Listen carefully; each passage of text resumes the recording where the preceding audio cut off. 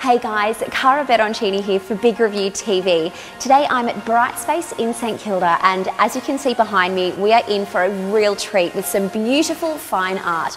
So let us go on an incredible art adventure. The collection of art is just next level and it really takes it to that level of finesse.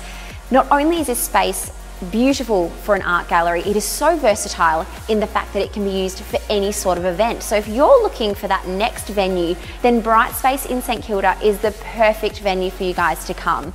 Hi, I'm Kylie Greer from Brightspace Gallery in St Kilda. We've got a fantastic calendar of events this year, so I hope you can come down and see us in our wonderful space.